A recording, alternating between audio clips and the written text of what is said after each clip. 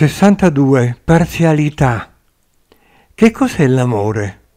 Commento.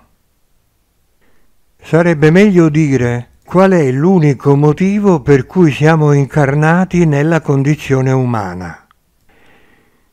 Noi viviamo la condizione umana per imparare ad amare.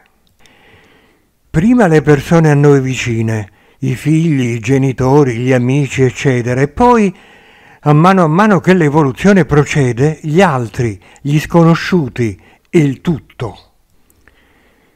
Dal neonato fino al santo il compito dell'umano è imparare ad amare, tanto che anche l'assassino impara ad amare, perché il suo grado di evoluzione non gli permette di essere di più.